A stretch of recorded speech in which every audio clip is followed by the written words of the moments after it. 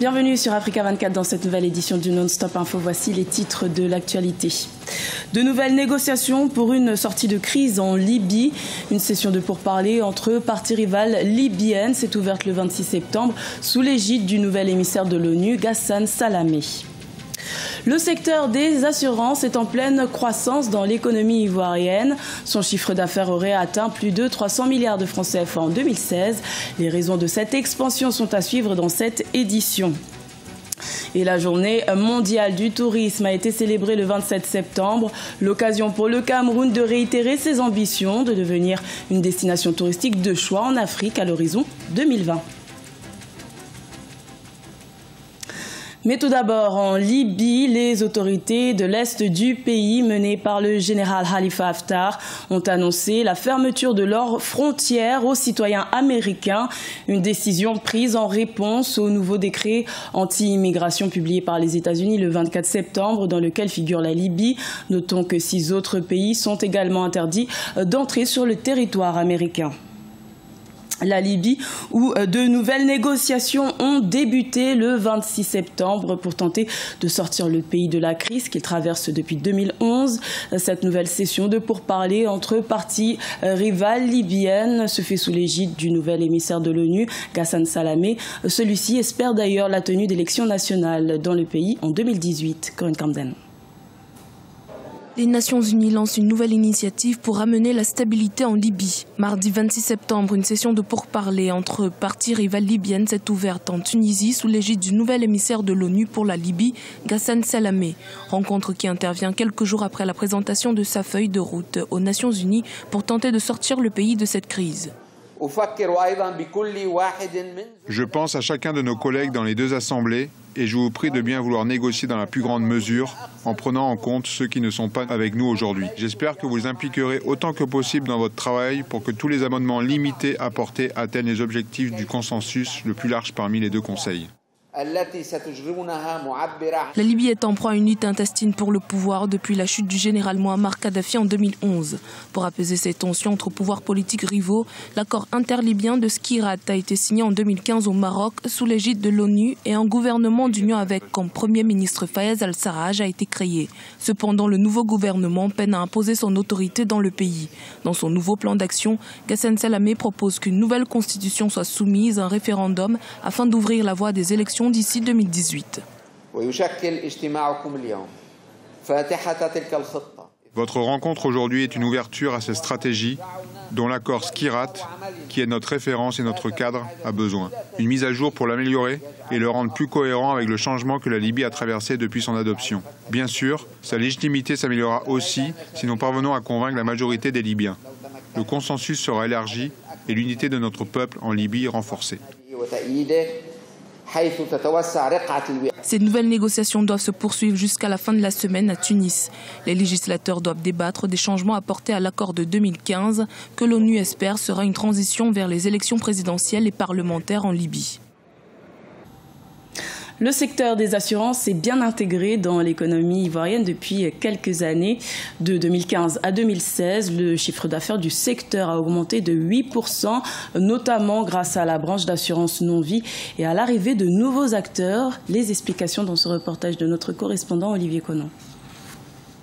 302,9 milliards de francs CFA, c'est le chiffre d'affaires du secteur des assurances en Côte d'Ivoire en 2016, en hausse de 8,6% comparé à 278,5 milliards de francs CFA en 2015.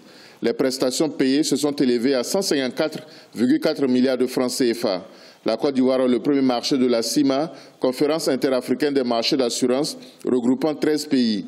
L'attractivité du secteur est attestée par l'arrivée de cinq nouvelles compagnies entre 2015 et 2017. C'est un secteur qui est solide, euh, qui a de bonnes performances, qui est bien structuré, qui a euh, une gouvernance qui est acceptable, mais qui a besoin de faire beaucoup plus d'efforts pour euh, établir, si vous voulez, réduire cette asymétrie d'information entre assurés et assureurs du point de vue de la capacité des assureurs à faire face aux obligations financières, ce qui va permettre justement de, euh, certainement améliorer le, niveau de, pénétration.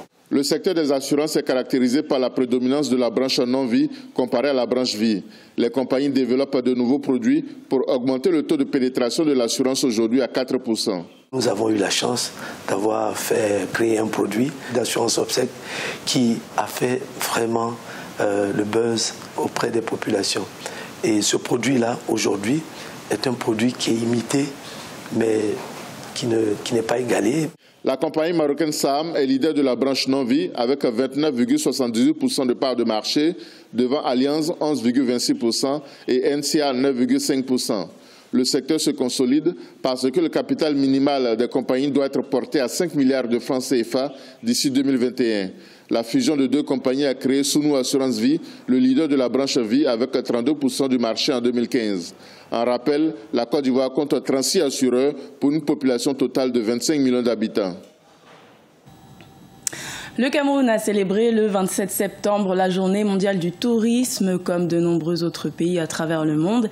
Et cet événement était l'occasion pour le Cameroun de dresser un état des lieux de son secteur touristique en nette progression. Et pour cause, ce secteur aurait généré près de 560 milliards de francs CFA au pays en 2016. Reportage de notre correspondant, Sherif Ousmane Barnouka.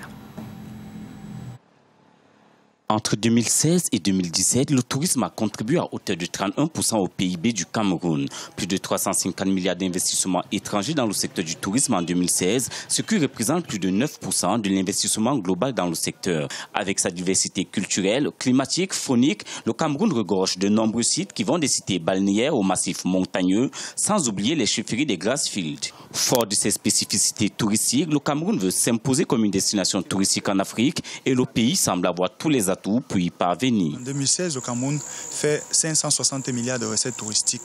Euh, ça tient en compte bien évidemment l'ensemble du secteur, c'est-à-dire les hôtels, c'est-à-dire des restaurants, c'est-à-dire les, lieux de loisirs. 560 milliards de francs CFA, ça c'est les recettes générées. Qu'est-ce qui nous dit encore le rapport? Le rapport nous dit que le Cameroun, c'est plus de 800 sites touristiques enregistrés. Ça veut dire que sur l'ensemble du, territoire euh, national, on a des sites touristiques. Et que parmi les 800 sites enregistrés et recensés au Cameroun, on en a deux qui sont inscrits au patrimoine mondial de l'UNESCO. Un ensemble de potentialités au Cameroun, puisque de toutes les façons, le Cameroun va abriter pour la première fois en Afrique le monument, le, monument de la mer de l'humanité, qui est le troisième plus grand monument au monde. Déclaré destination touristique en 2011 pour avoir franchi le cap de 500 000 visiteurs, le Cameroun peine toujours à capitaliser les activités du secteur à cause de la sécurité et des infrastructures d'accueil peu développées. Les attaques de la secte terroriste Boko Haram ont provoqué la baisse de l'activité touristique dans la partie septentrionale du pays. Euh, le problème du terrorisme qui n'est pas euh, spécifique au Cameroun, au niveau de la région de, l'extrême nord. Mais il faut aussi dire que ce terrorisme-là, qui est euh, concentré en ce moment dans la région de l'extrême nord, participe aussi à désengorger les autres d'autres d'autres régions, participe aussi à, ramener les touristes dans d'autres régions comme le tourisme culturel au niveau de la région de l'Ouest, vous, comprenez, ou encore euh, euh, les cités balnéaires qui commencent encore à prendre de l'ampleur. Le deuxième frein, c'est le problème d'infrastructure. Première des choses, les routes. Il n'y a pas de route pour accéder à ces différents sites qui sont recensés partout sur le territoire national. Au-delà des routes même, les sites aussi même qui existent ne sont pas complètement aménagés. Le ministère camerounais du tourisme et des loisirs envisage atteindre un million de touristes internationaux en 2019. Selon les calculs faits par ce département ministériel, si ce but est atteint, cela va générer 1000 milliards de francs CFA, soit 205 milliards de francs CFA de frais de visa, de timbres d'aéroport et des taxes touristiques réservées à l'État. En outre, pas moins de 750 milliards de francs CFA seront injectés dans l'économie touristique à la découverte du festival égyptien de bande dessinée Kero Comics qui a connu sa troisième édition au Caire du 24 au 26 septembre. Un événement qui a mis en lumière les œuvres de nombreux artistes inconnus, une forme d'art que cette région de l'Afrique tente d'encourager. Corinne Camden. Ce 24 septembre, la capitale égyptienne accueillait la troisième édition du Cairo Comics. Des dizaines d'amateurs de bande dessinée ont participé au vibrant festival qui s'est déroulé sur trois jours. Ce festival annuel a été un moment de partage des bandes dessinées, des livres et de nouveaux projets artistiques d'artistes locaux et internationaux dans la capitale du Caire. Il y a un grand avenir, mais nous avons déjà un passé riche de bandes dessinées. Vous pouvez le voir avec la bande dessinée Samir qui date des années 1960. Nous avons un héritage en matière de bande dessinée et il y a un site web appelé Comics Arabes qui documente l'histoire de la bande dessinée dans les nations arabes dès les années 1920. Je crois que l'avenir et le passé des bandes dessinées sont tous deux honorés dans ce festival, donc c'est quelque chose que j'aime et auquel j'essaie de contribuer. Cette année, le public a eu droit à une nouveauté, une projection en direct d'un artiste au travail qui a fait une démonstration du processus de la création d'une bande dessinée. L'édition de cette année a offert des prix tels que le meilleur roman graphique publié en arabe. Des ateliers ont également été mis en place afin de donner la possibilité aux artistes en neb de rencontrer des experts. La présence d'Alfonso Zapico, l'un des meilleurs artistes espagnols dans le domaine, a notamment été remarquée. Cette culture s'est considérablement répandue en Égypte récemment. J'ai décidé que je voulais faire des histoires et en même temps être responsable du résultat. Je voulais montrer aux gens ma vision. Alors j'ai trouvé que les bandes dessinées étaient le meilleur moyen pour livrer mes propres histoires. Le festival vise à rassembler des artistes et à constituer une plateforme pour une tendance croissante en Égypte et au Moyen-Orient. Les artistes de bande dessinée palestiniens faisaient également partie du festival et le livre d'Amer al-Shomali, Zanalan, en particulier, a été vendu en plusieurs exemplaires. Ce journal a été réalisé par l'ensemble de la rédaction. Merci de votre fidélité. Retrouvez dans un instant une nouvelle édition de l'information sur Africa 24.